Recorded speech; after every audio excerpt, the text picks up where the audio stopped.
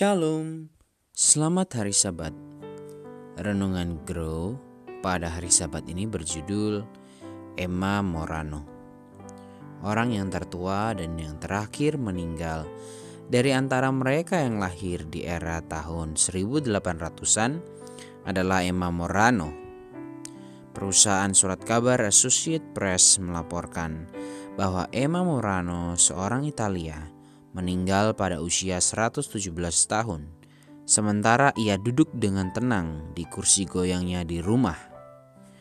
Morano lahir pada tanggal 29 November 1899 dan ia hidup di tiga abad.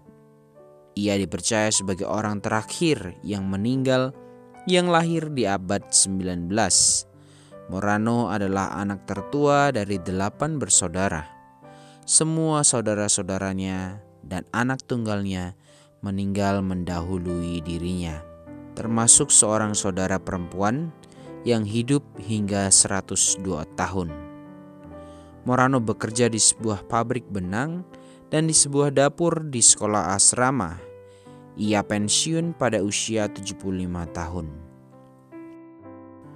Ketika ditanya tentang rahasia umur panjangnya, ia menjelaskan bahwa ia makan makanan yang sederhana, tidak makan terlalu banyak, dan pergi tidur awal sehingga memiliki cukup jam untuk beristirahat. Selain itu, teman-temannya juga mengatakan bahwa Morano memiliki gen yang baik. Alkitab juga mengatakan bahwa Tuhan rindu kita untuk selalu baik-baik dan sehat-sehat saja dalam segala sesuatu, sama seperti jiwamu baik-baik saja.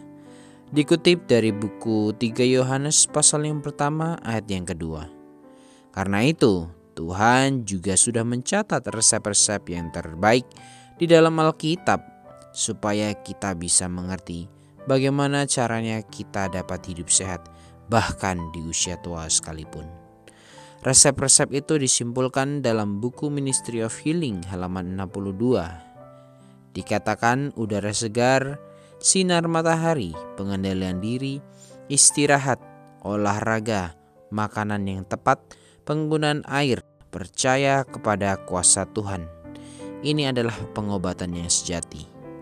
Kiranya kita semua yang masih muda, usia dewasa, bahkan yang lanjut usia, bisa kembali kepada pola hidup yang sehat, karena itulah yang terbaik yang Tuhan telah sediakan bagi kita semua. Selamat hari Sabat dan Tuhan Yesus memberkati kita semua. Amin.